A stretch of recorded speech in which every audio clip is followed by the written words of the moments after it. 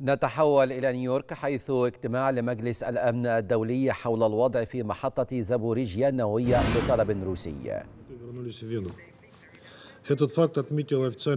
نتمكن الآن من تقييم الأوضاع بشكل آني بما أن هناك مفتشان من الوكالة متواجدين الآن في المحطة. ونحن مستعدون لمساعدة المفتشين بأي طريقة ممكنة. أود أن أؤكد أنه منذ البداية لطالما دعمنا جهود الوكالة لضمان الأمان النووي في محطة الطاقة النووية في أوكرانيا. الجانب الروسي قد بذل قصارى الجهود ليضمن أن السيد جروسي وفريقه سيوصلون إلى المحطة بشكل آمن آمن وسيقومون بعمل وسيعودون إلى فيينا. وهذا هو ما أشار إليه ممثل الأمين العام عندما قال وأقتبس الاتحاد الروسي قد بذل جميع الجهود لضمان أمان وسلامة مفتشي الوكالة الذين زاروا محطة الطاقة النووية في زابوريجيا. انتهى الاقتباس. نود أن نعرف منك سيدي المدير العام ما هو تقييمك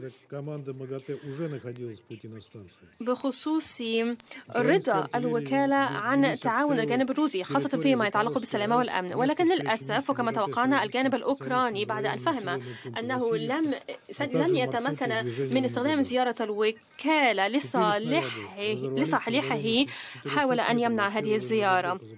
في الخامس من سبتمبر تم قصف بلدة أن الهدار واستمر هذا القصف حتى آخر لحظة عندما كان فريق الوكالة في طريقه إلى المحطة المدفعية الأوكرانية قصفت بمنطقة سابوريشيا عندما التقى ممثلو الوكالة مع ممثلين روس وكذلك الطريق نحو هذه المحطة لقد كان هناك انفجارات على بعد 400 متر من مكان أول الزيارة وكان هذا القصف يمثل خطرا على سلامة وأمن المفتشين. ولم يتوقف الأمر عند هذا الحد. النظام الأوكراني قد استمر في استفزازاته وحاول أن يستولى على المحطة بالقوة مباشرة قبل وصول الوكالة في السادسة صباحا في الأول من سبتمبر. ومن خلال محطة تخزين المياه. تم توجيه أو تم استهداف المحطة. ولتوليد الانطباع.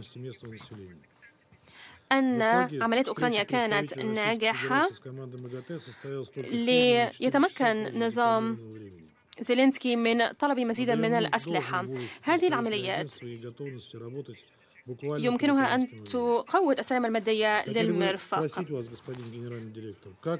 إذا ما نجحت هذه العمليات كان مفتشو الوكالة سيصبحون دروعا بشرية وتوقف كل ذلك بسبب القوات المسلحة الروسية وكذلك تيقظ المجتمع المحلي ونتيجة ذلك اللقاء بين الوكالة الدولية والممثلين الروس قد تم في منتصف اليوم إذا بعد مرور أربع ساعات من الميعاد الأصلي نحن نحيي شجاعة ممثلي مديري الوكالة إذ أنهم مستعدون للعمل تحت النيران حرفيا نطلب نسألك سيدي المدير العام كيف أثر ذلك على عملكم؟ محاولة النظام الأوكراني تعطيل هذه البعثة ما هو تعليقك على أنشطة الجانب الأوكراني في سياق تهديد أمن وسلامة المحطة وسلامة مفتشي الوكالة وأوجه نفس هذا السؤال للأمين العام. إن موظفي الأمن والسلامة الأمميين رافقوا البعثة وتعاملوا مع المسائل المتعلقة بالأمن والسلامة كان واجبا أن يتم تقييم الوضع وأن يتم تحديد مصادر المخاطر. ما الذي تحدث عنه عاملو الوكالة بخصوص المخاطر التي نشأت عن الأنشطة الأوكرانية. سيدي الرئيس خيبة الأمل بخصوص زيارة الوكالة للمحطة هي خيبة أمل لم تستطع أوكرانيا أن تخفيها. كل هذه البعثات للوساطة.